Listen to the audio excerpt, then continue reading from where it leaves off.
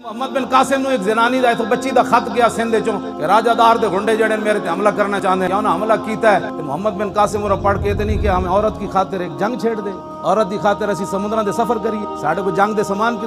एक औरत का खत गया कोई तहकीक नहीं की थी मुस्लिम औरत का खत गया मोहम्मद बिन कासिम ने आके सिंधी ज़मीन हिला गया उन्हें कहा गैरतमंद बच्ची दे तो मुसलमान है तो तू साड़ी ज़रूरत के में हो? ये राजादार दे पुत्रो उतो चलने चलने मुल्तान आके तलवार ने एंज गाड़िया ला इला